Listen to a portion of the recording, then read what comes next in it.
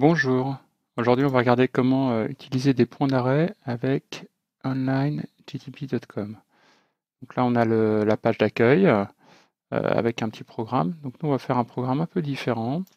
On va faire un programme qui nous permet euh, de saisir deux nombres entiers.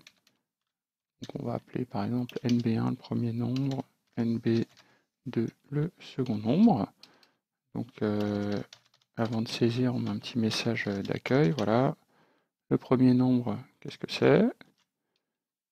Voilà, point virgule. Le deuxième nombre, donc si on veut le si on veut donc scanf le saisir, alors déjà je finis le premier, on parler du deuxième.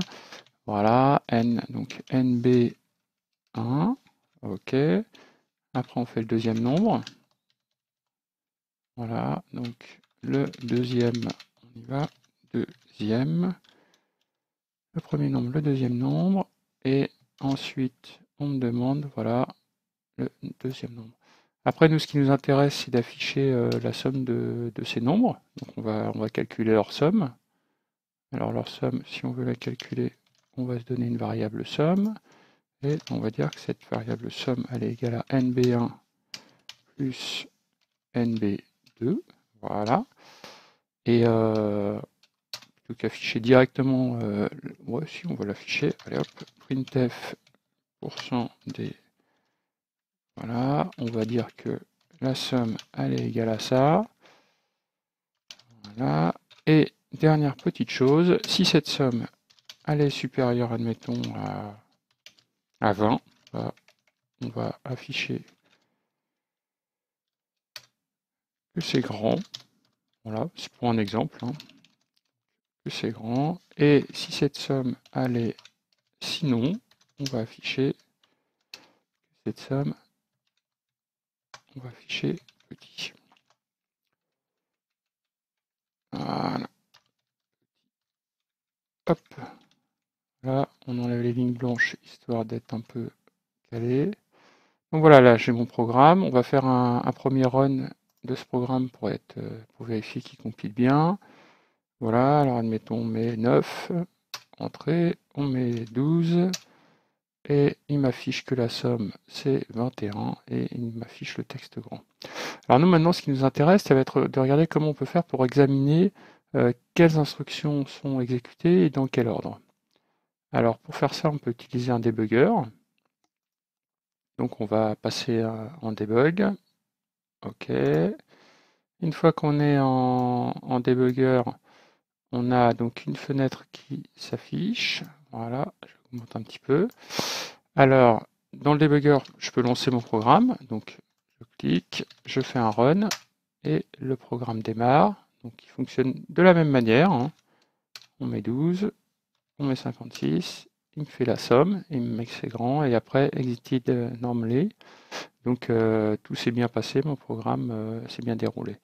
Alors, nous, ce qui nous intéresse, comme on veut voir comment s'exécute ce programme, quelles sont les instructions euh, effectuées, on va poser ce qu'on appelle un, point d'arrêt. Donc on va cliquer ici, en ligne 6, et on va dire voilà le programme, quand il va se démarrer, il va s'arrêter ici, et on va pouvoir euh, ensuite regarder petit à petit ce qui se passe. Donc on va refaire un run du, du programme. Il démarre et là on voit il s'arrête, donc il y a ce qu'on appelle un breakpoint, donc un point d'arrêt qui a été posé en 6. Donc il est arrêté ici, cette instruction n'est toujours pas exécutée. Et euh, donc nous on dit bah, maintenant on va faire ce qu'on appelle une exécution pas à pas. On va écrire next pour le prochain. On va rentrer. Donc là, il nous affiche premier. La prochaine instruction ce sera un scanf. Donc on fait next pour passer au suivant. Voilà, là il s'arrête. Alors euh, bah comme il est en train d'exécuter un scanf, il attend qu'on saisisse quelque chose. Alors admettons on va rentrer 5. Il va nous afficher deuxième. Alors si on fait entrer directement sans faire next, ça passe à l'instruction suivante. Voilà. Encore next. Là, le programme s'arrête, il attend qu'on donne euh, la valeur de nombre 2. Alors on avait rentré 5 tout à l'heure, admettons on rentre 3 maintenant. Il va nous calculer la somme. OK. Il va nous afficher la somme. OK. Donc il nous affiche somme égale 8. Et là, alors là, qu'est-ce qui se passait? C'est un petit peu intéressant, hein, intéressant, c'est de dire, bah voilà, cette instruction-là va, va, être exécutée. Ensuite, est-ce qu'on va ici ou est-ce qu'on va ici? Donc là, on va regarder peu à peu. Hein. Donc on refait un next. Et là, bah, comme ma somme vaut 8, elle est inférieure à 20. Donc on va dans la partie else et on va afficher donc petit qui va s'exécuter. Next, petit euh, est à nouveau euh, est, exécuté. Et euh, donc après, pour finir le programme, on peut faire un continue hein, si on en a marre de faire des next, et le programme s'exécute et se termine normalement. Donc là, on a pu constater, grâce au debugger, on a pu regarder peu à peu dans un programme quelles sont les instructions effectuées.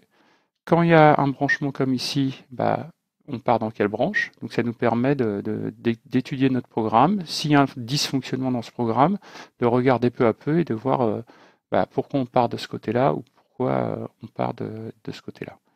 Et euh, une fois qu'on en a fini avec le, debugger, donc on va, on va cliquer sur Stop pour finir notre session de, débugage.